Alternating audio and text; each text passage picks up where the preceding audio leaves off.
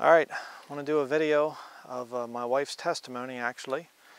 I'm not my wife. She's going to be coming here on the camera pretty soon and you say, well Bryan, I thought you said you weren't ever going to show your wife on camera. Well, we prayed about it, we talked about it, and uh, my wife has a very interesting testimony before she got saved. And I really feel that, that uh, she's felt that the Lord has been calling her to share her testimony. And uh, we prayed about it and I just think now's the time. I don't think there's much time left till the Lord takes us out of here. So she wants to share her testimony, how Jesus Christ saved her. And uh, I just want to give a little warning to you out there. If you're one of my enemies out there and you decide that you're going to make um, some lewd comments about my wife and things, uh, you're going to answer for that. Okay, so that was one of the reasons why I was stopping it. I mean, there's been some really crude things said about my wife, and she hasn't even been on film yet, on camera yet, but uh, some people have taken it upon themselves to, you know, because you aren't going to get to me too easily, but they think that they can attack my wife and that that'll scare her away.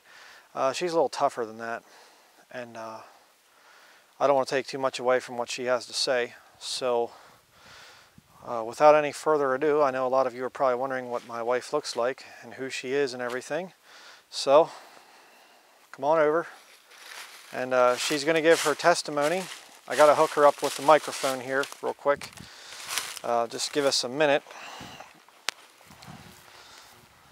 I don't have to go like this and talk down or anything. You know, just okay. There we have it. I'm going to go get behind the camera. So.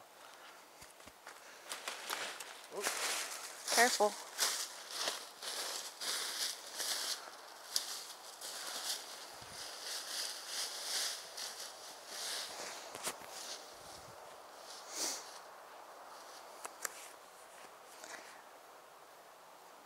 Sehr gut.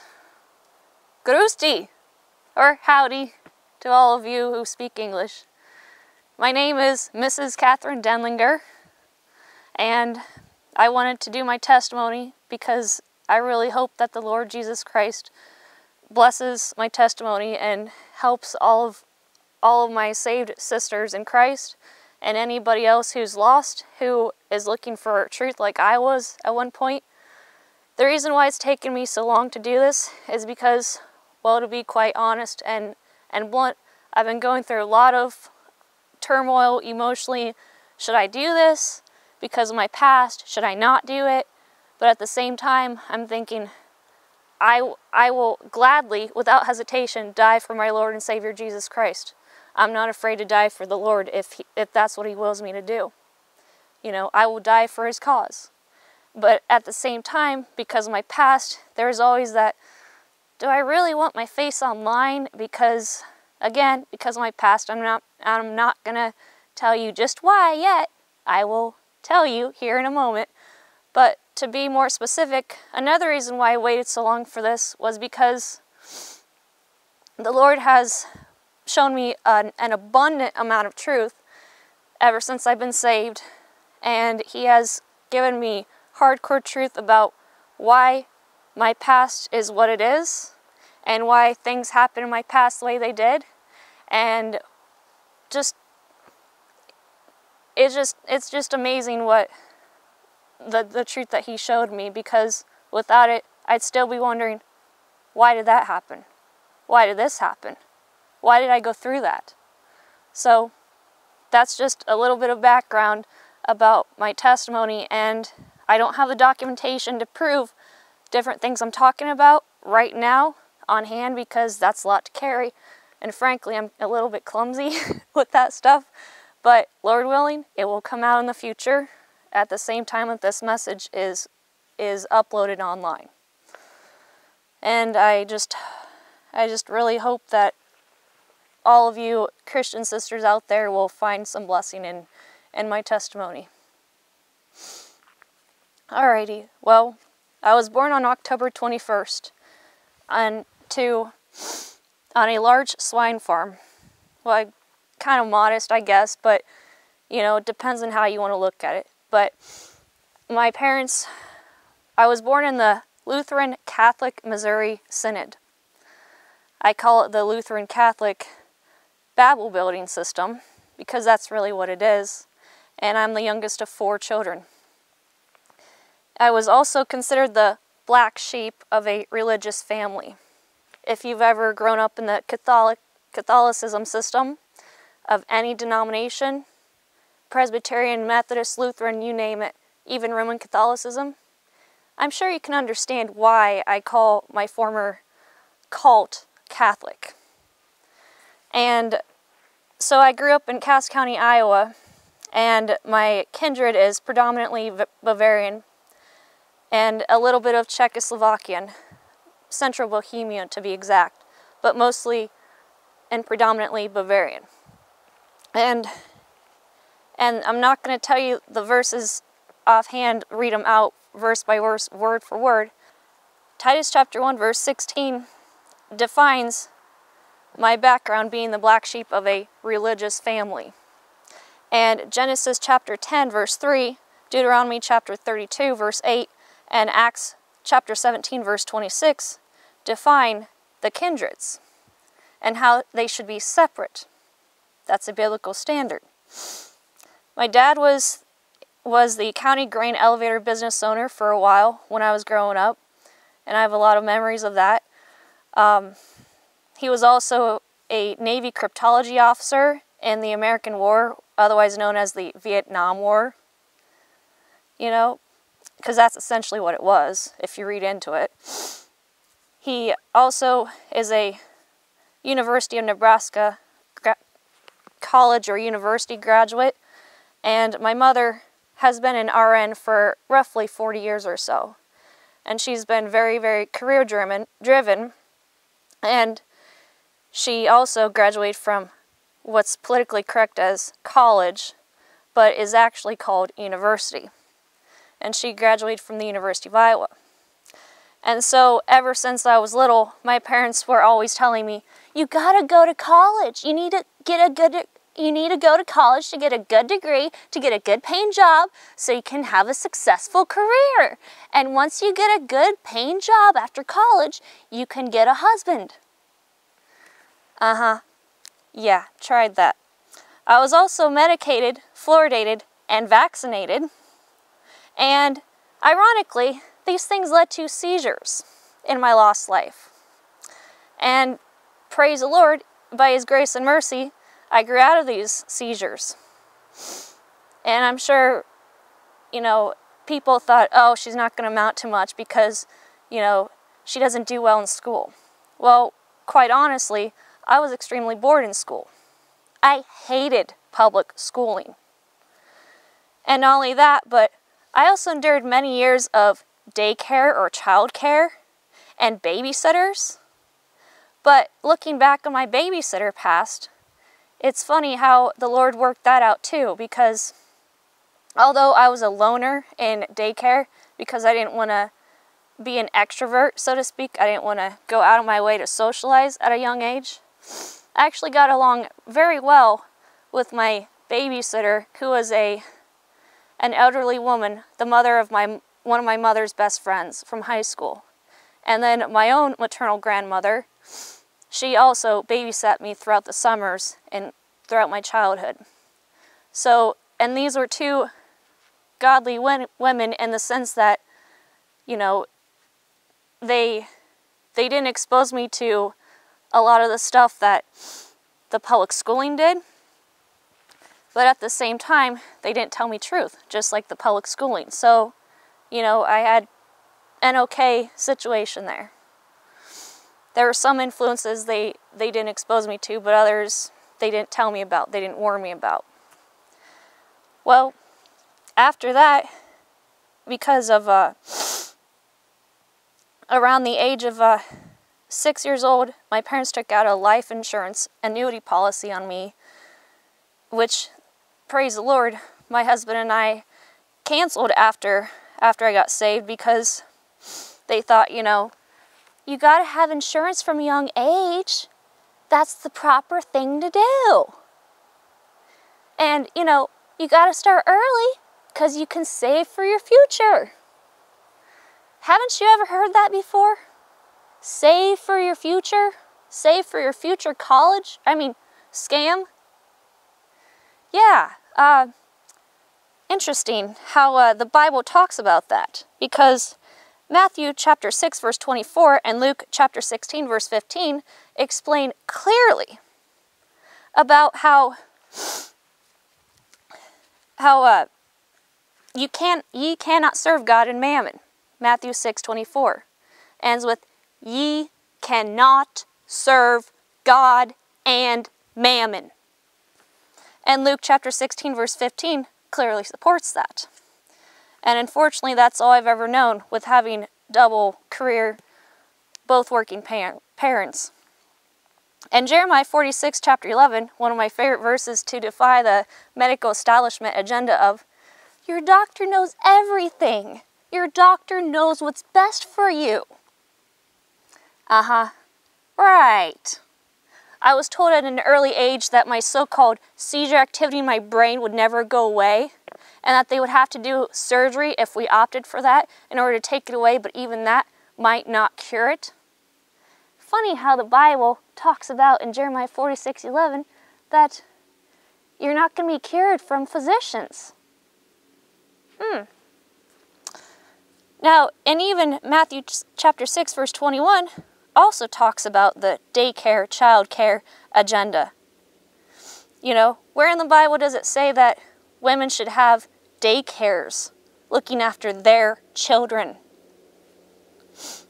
And also Philippians chapter 2 verses 20 through 21 talk about what happens when you put me or your self-centeredness, self-righteousness in front of the Bible. It leads to things like insurance policies, life insurance, annuities, accidental death and dismemberment insurance, all sorts of insurance that you don't need instead of obeying God's word. Well, anyhow, I was also, when I was born and raised in the Lutheran Catholic cult, I attended every Sunday service, which by today's standards would be called the cradle to grave Catholic system. That's essentially what I would have ended up had the Lord not saved me a couple years ago. I was water sprinkled as an infant.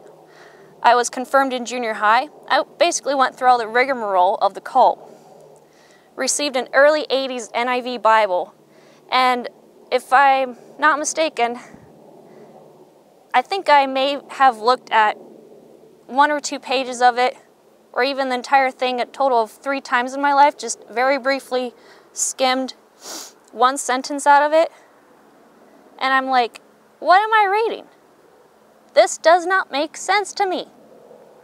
And I also served as an acolyte, and I almost always had perfect Sunday school attendance, where, ironically, I learned how to country line dance.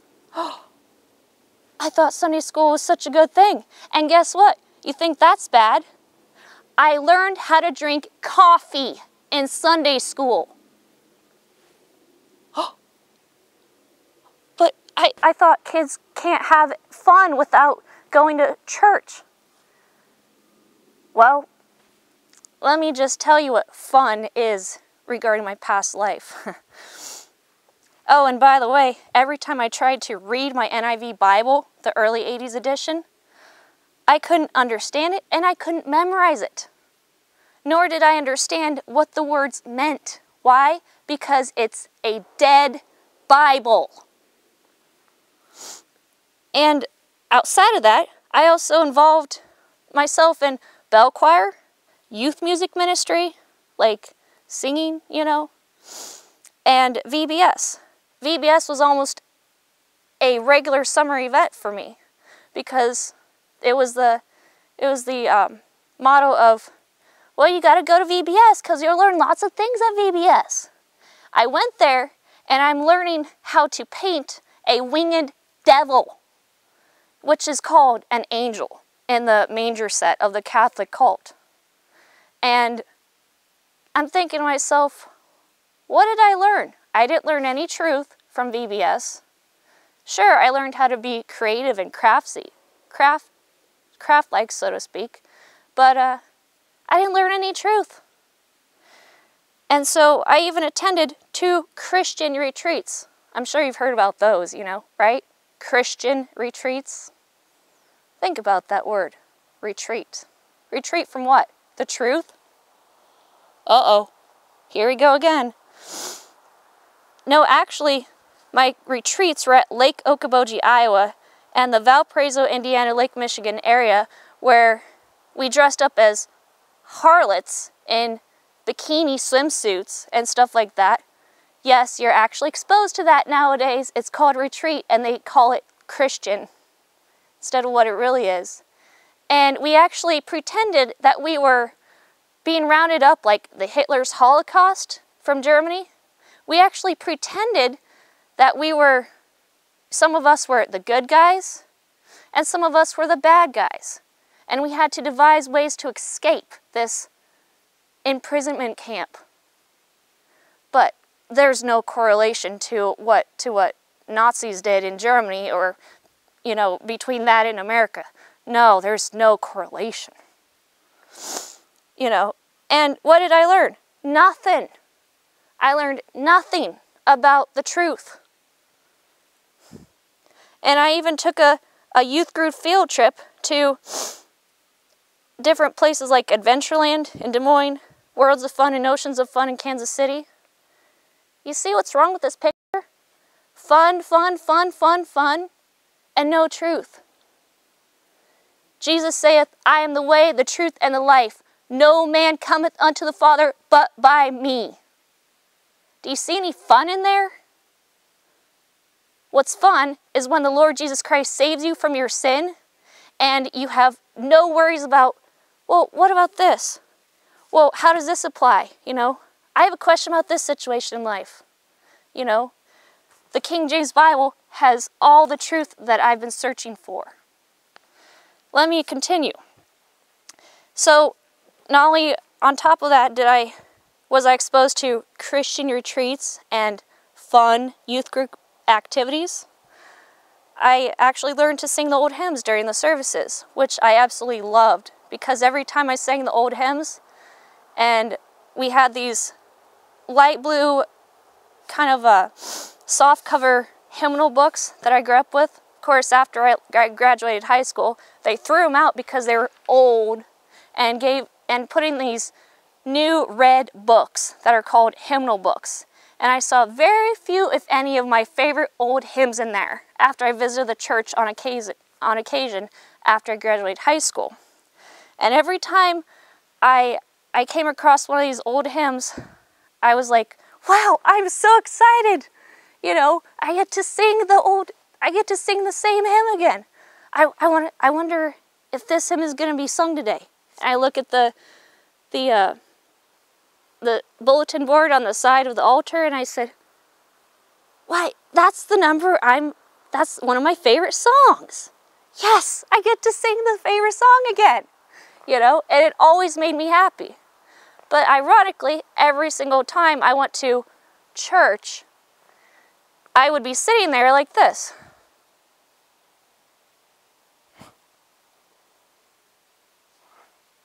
You know, and my parents would occasionally elbow me to, to stay awake.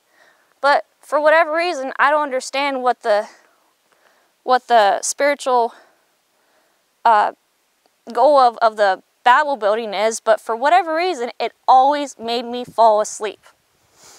And I think the one time I actually did not fall asleep in a sermon, growing up in my Babel building, I went up to the papist wannabe pastor and I enthusiastically said to him one day, I said, Guess what? He said, What? I said, I actually didn't fall asleep today. And he had a glare on his face, an angry glare on his face, because he didn't think that was funny. but, anyways, and of course, in Sunday school, I asked deep spiritual questions at an early age, questions that people couldn't answer. And I'd always ask the same question. And the Sunday school teacher, professing Sunday school teacher, would never tell me the truth. He'd just say, oh, well, the Bible says such and such. And because I didn't understand and I was never exposed to the Bible version issue growing up, I couldn't, I didn't dare to ask, well, which Bible? Because I didn't even know that a real, perfect, true Bible existed growing up. I had never even heard about the Bible version issue. All I knew was I was given a 1980s, early 1980s version of the Bible called National New International Version on the bottom in gold letters with my name on it. And of course, I didn't I was never exposed to the truth. Nobody ever told me the truth. And so of course I alienated everybody because I kept on asking questions that nobody wanted to answer. And so I, of course, went through the motions. But yet I never heard the gospel. There were things we sung in our matins services, if that's the correct pronunciation of it, or divine service setting, as it's still called to this day, unless they changed it into something else. But they would take all sorts of things out of the Bible, the King James Bible, especially from Psalms 53, if I'm not mistaken, they took all sorts of things out of that and put it in our hymn book, and we sang it, and I had no idea what we were singing. I had no idea what was going on. So essentially, I, I was raised with a head knowledge of God. I professed to know God, but yet I really didn't have a heartfelt knowledge of, of God and everything that He did to take away my sin I never ever heard anything about the gospel growing up. Despite people saying, I'm a good person because I go to church. Uh huh. Right. You go to church and that makes you a good person. Mm hmm. And yet, from a very young age, I also enjoyed talking to older people. Like people my parents' age, you know, older slash elderly people in my cult building, I can specifically remember this, this older gentleman that my parents were friends with. He spoke German fluently. Now, to this day, I can't tell what dialect he was saying, but I do remember him trying to teach me how to say good morning in German. And at the time, I'm like, huh? What are you saying? Because that was my first exposure outside of the constant brainwashing agenda of set aside your differences, you know, who are you to judge others? You know, we're all the same, we all bleed the same, you know. Who are you to, to say that I'm whatever? That all the public school agenda that I endured. It was constant brainwashing of that instead of embrace how God made you. Embrace your family heritage. And so, outside of the occasional German word that my parents tried to teach, to teach me at home, this older gentleman from my Catholic cult building growing up taught me how to say Guten Morgen or and Guten Tag and you know familiar German greetings like that. But yet that was always pretty much washed away by the public school agenda and all the cares of the world of what's the latest movie? What's the latest, you know, fashion trend? What's the latest whatever? It was always new, new, new, new, new, new, new, just to push away the old. And yet, ironically, also from a very young age, I abhorred crowds. And I detested classrooms and hanging around my peers. Because every time I went to a family get together growing up, my my grandparents would play polka music.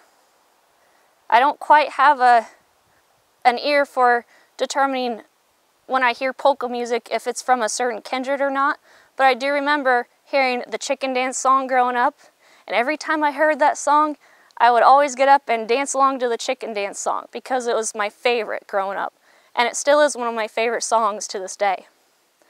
And so that's one of the things that made me happy despite all the, the cares of this world, despite all the public schooling agenda and brainwashing curriculum that they tried to ram down my throat all those years, I it was kind of like polka music and and listening to older people talk about the past and everything was like a stress-free environment for me.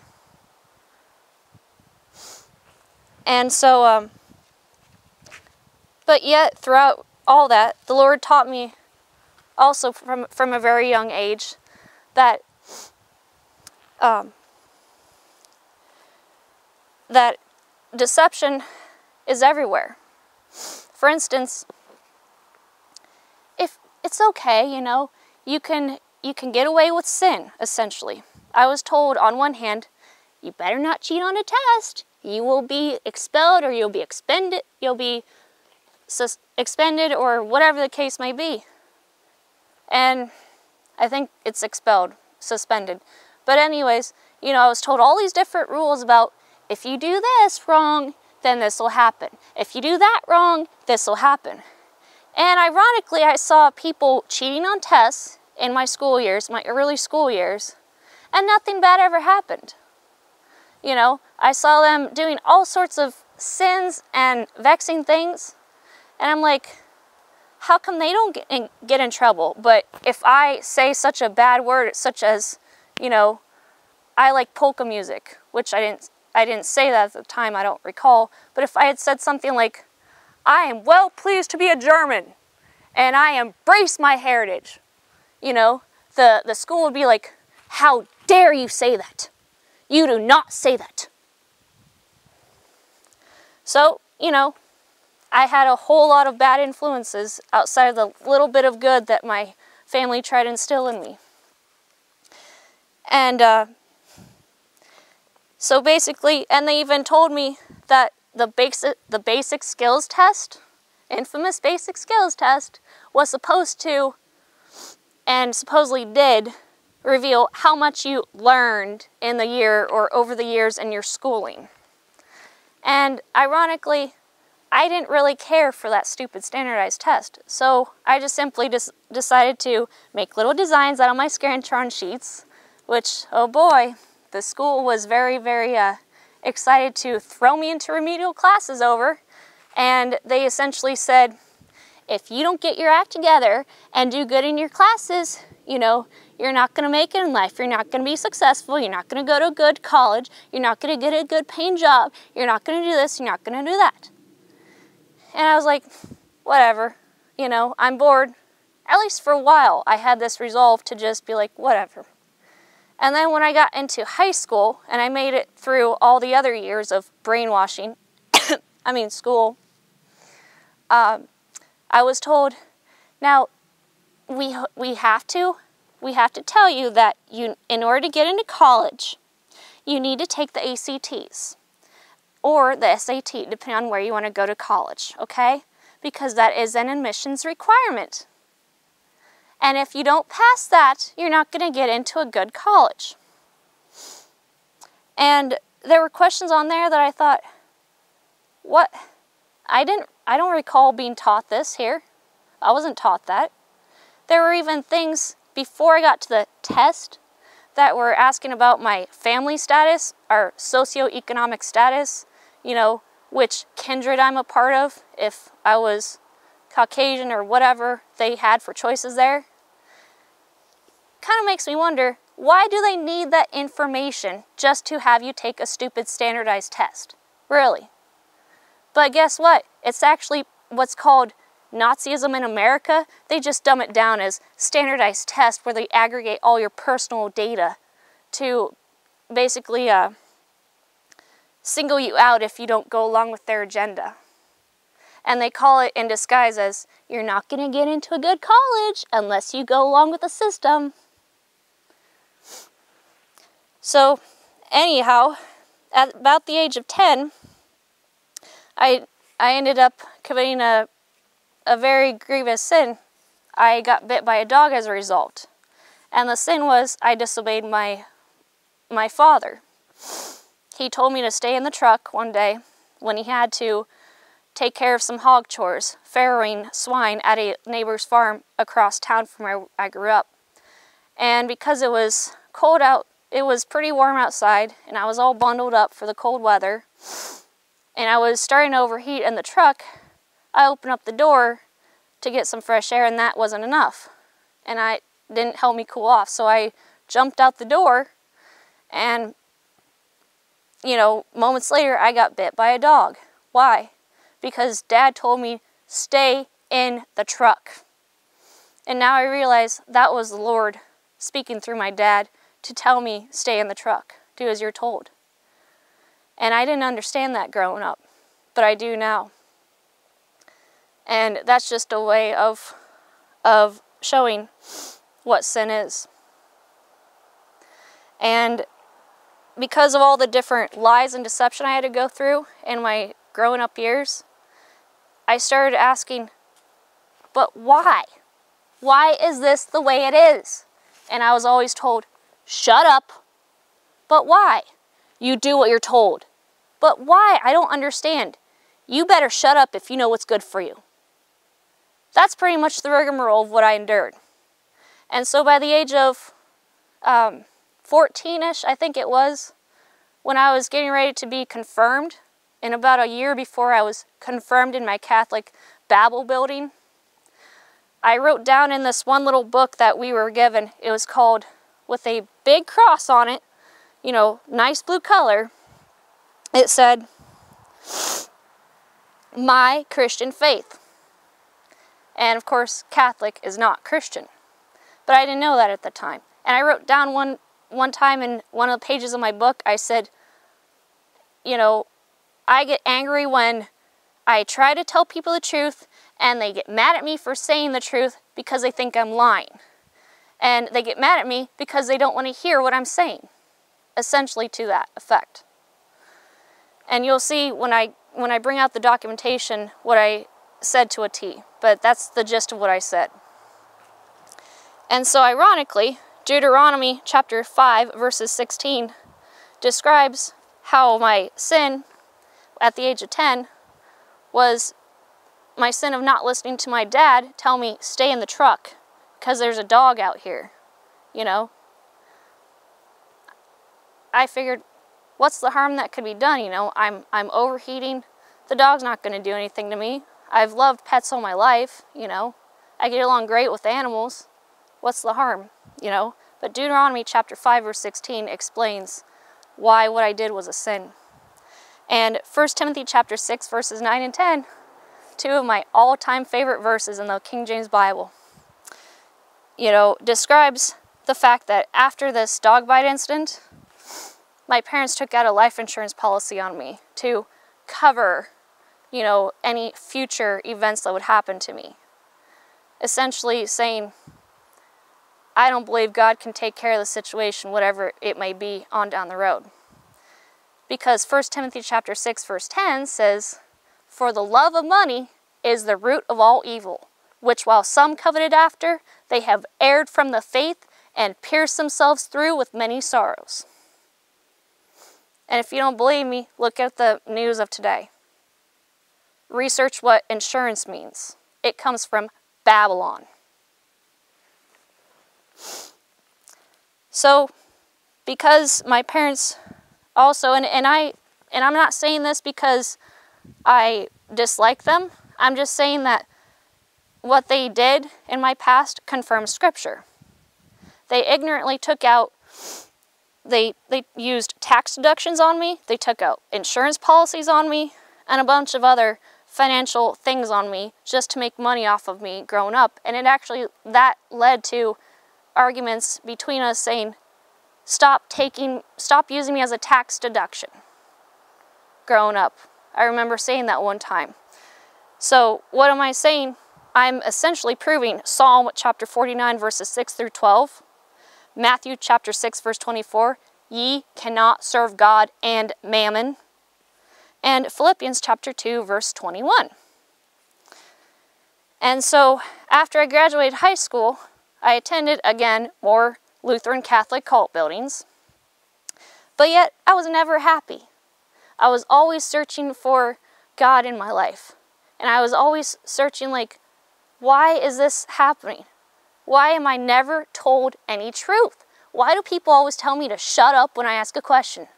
Like, why does this happen? How did that happen? Why do I have to do this? What is the purpose behind this? I was always told, stop asking questions. But yet in school, I was told, sure, you can ask as many questions as you want. But when I did, I was always told, that's not for this course. That's beyond the scope of this course, okay? You're going to have to take the next level or the next class in order to find out the answer to that. So, um, needless to say, uh, I didn't understand what was going on back then, but I do now. And I understand that the Lord Jesus Christ was working out all these fine little details thus far into my lost life, leading up to my salvation. And here's why. Every time I went to my grandparents' house, they would teach me different things. My maternal grandma would tell me, would, would have me help her wash and dry dishes. And because I wasn't there enough to actually memorize every single thing about where the this type of cup went to or this type of spoon or this type of whatever went to, I would always ask her many times, where does this go again? Such and such, you know? And ironically, she was never ever angry whenever I asked her, where does this go again, Grandma? She never yelled at me when I did something wrong. She patiently told me as a reminder, that's where it goes, or I'll show you where it goes. She was very patient with me. I didn't know anything about that growing up. If I you know, growing up, I always felt like, well, even if I get good grades, it's not going to be good enough to gain the respect of my parents, you know, or it's never going to be good enough to to gain the respect of my my school, you know. And when I did get good grades outside of high school, you know, it was always, eh, okay, whatever, you know. It never led to any happiness or contentment. It never led to truth. I was ever learning and never able to come to the knowledge of the truth. But, but on the other hand, my grandparents taught me a, a lot of life skills that have carried on later throughout my life. And looking back, all the times that I thought, I'm bored, I wish I could learn something else. It was those hands-on skills like gathering eggs at Grandpa and Grandma's place, you know, from the chicken coop, or you know riding riding a three-wheeler with grandpa you know? Learning how to ride on the back of a three-wheeler. Learning how to take care of the cattle you know the dogs whatever they had at their at their places. It was listening to polka music that kept me in a good mood while working on a puzzle. You know things like that. It was learning how to make a bed from grandma. Learning how to wash and dry dishes at an early age. You know it was things like that that made more difference and meaning to me than just, okay, I got to learn this by the end of this week, you know. Okay, well, the assignment today is we're going to learn about Martin Luther King Day, you know, and the historical significance of uh, Miranda, the Miranda court case. I forget what it's called. You know, to basically tell you you have the right to remain silent. Anything you say and do can and can and will be used against you in a court of law. I learned about that kind of stuff. I learned about American government. But the public schooling stuff I learned did not mean as much as learning those hands-on skills, those outdoor hands-on skills from my grandparents. And uh, and yet at the same time, mom tried to teach me some things like sewing and cooking and laundry duties growing up, like how to wash clothes out by hand. I remember her saying, you know, I use this type of soap to wash out stains from wool or stains from cotton. And yet I never did understand why cotton and wool were such great things. Until I learned the agenda behind that later on in my lost life years, which I'll tell you about in a, in a bit. But she taught me how to do various types of needle needlework, like embroidery. Cross stitch is a type of, of embroidery. And she, she tried to teach me how to sew, but unfortunately I got frustrated because I thought, well, I'm just not smart enough to learn this thing because, you know, I had all these other things to keep me occupied. I'm the type of person that I have to keep myself occupied, my hands busy, so my mind doesn't go off daydreaming about things it shouldn't. And that's been, you know, one of my issues all throughout my life. And the Bible talks about that. It calls it idleness. That's what happens when a woman be- is idle. Lots of bad things happen. You can read about that if you don't believe me. But I learned through 10 years of 4 H how to do different hands on activities like refinish antiques, you know, needlework, photography, how to raise, farrow, and market swine, how to tell the difference between, you know, uh, a dirty pen, you know, for an individual hog and a pen of three, and a clean area, you know. It taught me how to keep my working area clean, you know, and it taught me, I taught, or not I taught, I learned all these different things growing up because it was actually the Lord working through my parents to say, hey, this is what matters in life. Working with your hands matters. You know, but at the same time, they ignorantly went with the world system of you got to go to college to get a good paying job, and then you can have a great career, and you can get married and settle down and have lots of children. And that never worked for me. Schooling never, ever kept me interested. I was always bored to tears with it. And so, uh, so basically, Proverbs 22, verse 6, and Titus chapter 2, verse 3 explain all those little events that my grandparents teaching me hands on skills, my mom trying to teach me sewing, cooking, and laundry duties while growing up. And, you know, I, I thought to myself, well, I'm just not coordinated enough for this stuff. What do I need this for? I didn't take it very seriously because of all that brainwashing from the public schooling and the Catholic cult saying, let's have fun, you know, and all this mind numbing, you know, just completely grievous things that they that they taught me in, in school. Oh, and uh, by the way, guess where I learned the true agenda of friends? It was because of my high school friends that I considered friends at the time that got me into watching porn one day in the parents in the basement of one of their parents' places without anybody around, just the four of us. And they didn't tell me that this is what was going to happen before it happened. And so unfortunately my mom allowed me to go hang out with these three people and that's what they led me to watch. And when I quickly turned away from it because I didn't want to look at it, I was ridiculed by my so-called best friend, who I'm, it doesn't really matter to mention her name to this day, but I'll just say it like this. She called me, you know, virgin eyes and virgin ears. And I was called a goody two-shoes in high school because I didn't go out, you know, doing things I shouldn't. I didn't go out drinking. I didn't do drugs in high school. You know, I knew what was what what wine was because that was part of my Catholic cult growing up after I got confirmed. But I didn't do any of that stuff in high school.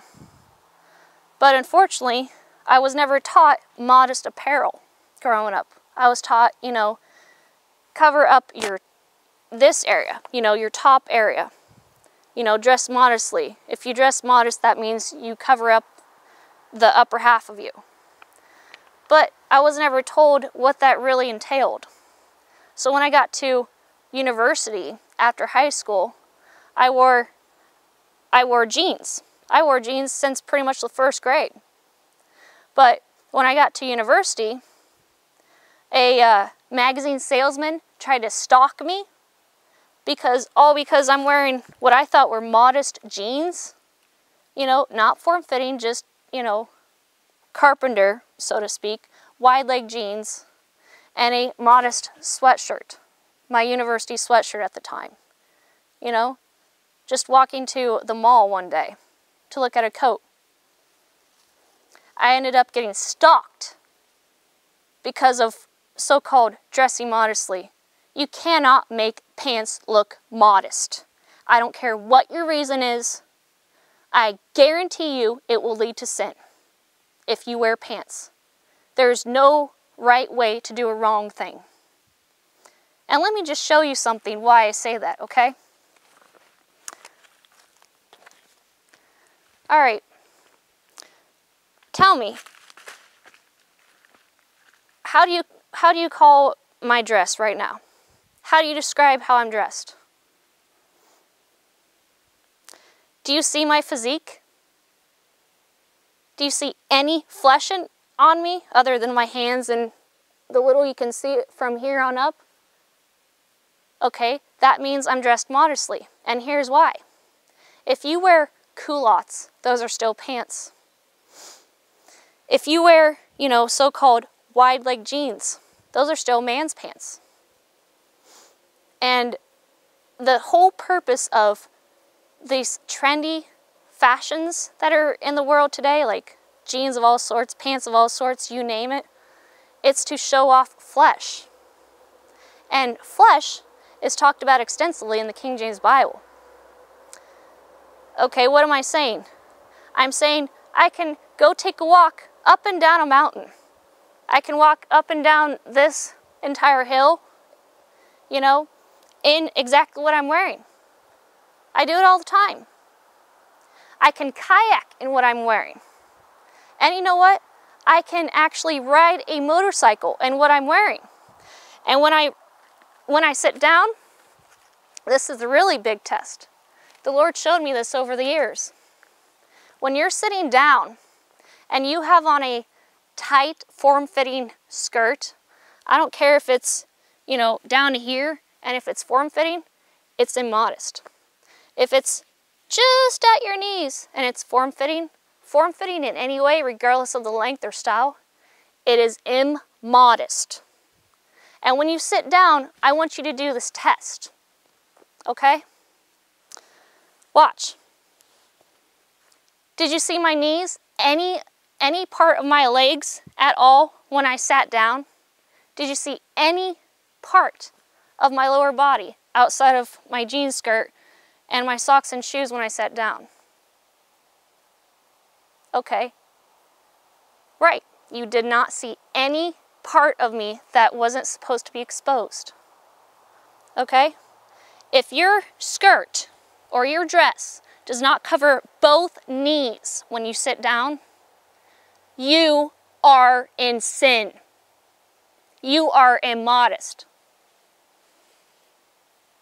If you stand up and if you're sitting down and the back of your shirt does not cover this or this, that's immodest. Here's a really, really interesting factor of all this. If you're sitting down and you have to bend down just a little tiny bit for whatever reason, you know, to look at something, to bend down and do something, if your shirt goes whoop out like this and you can see down it because you don't have a you're not covered up like I am, I don't care who the person is, I don't care how strong they are as a saved man or woman. Their eyes will almost immediately go. And then you see women doing this to cover up. They shouldn't be doing that.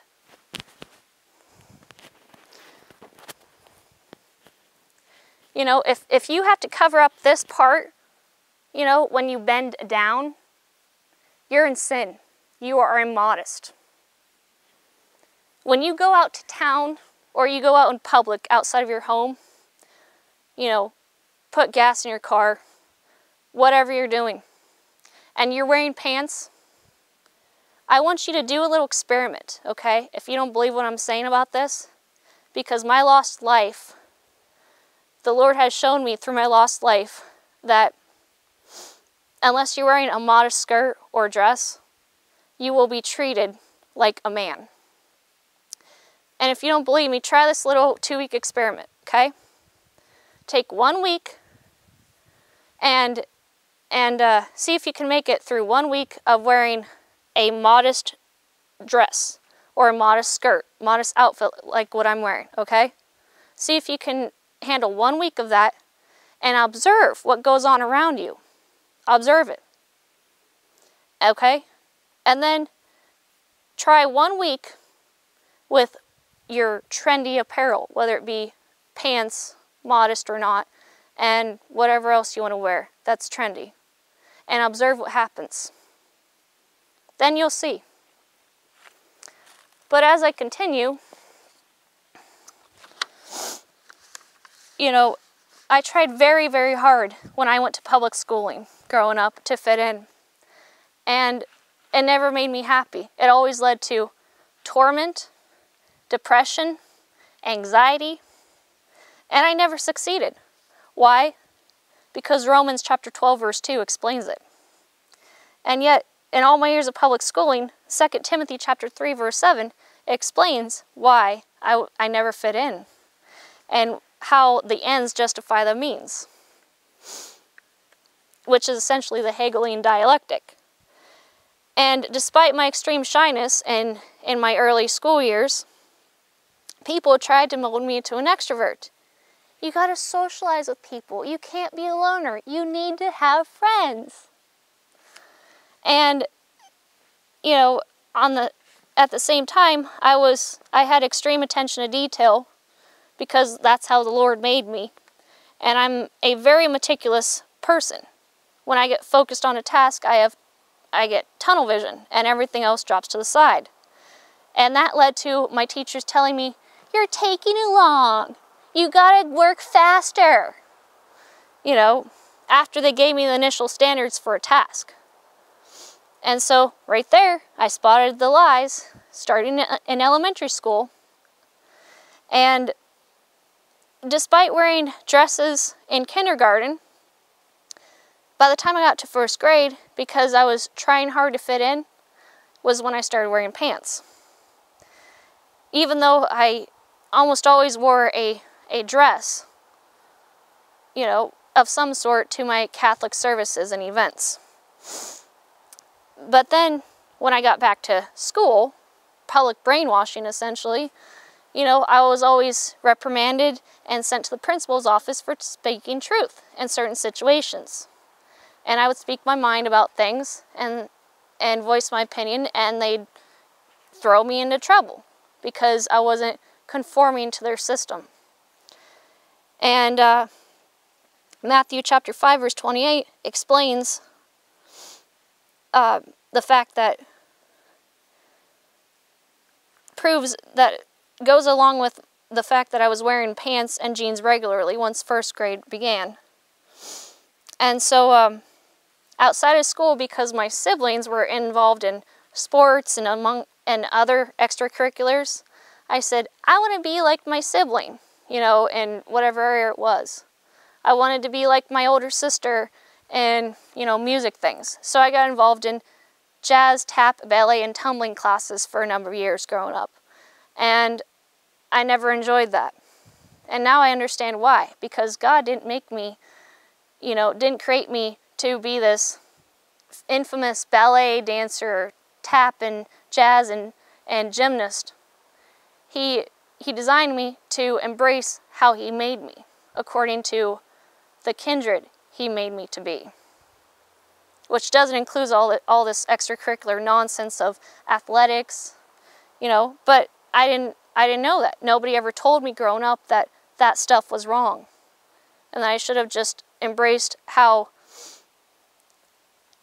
how uh, he designed me and how my family, you know, enjoyed their the polka music and all their cultural traditions.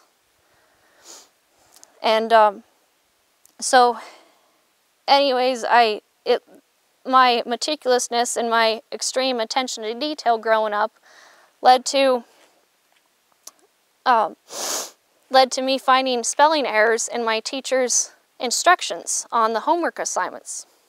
And that led to, you know, some ill feelings because I was, in a way, bucking the system because I would find their errors.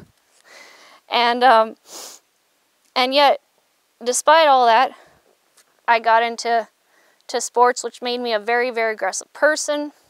And uh, it made me extremely, extremely uh, distrustful of other people and competitive.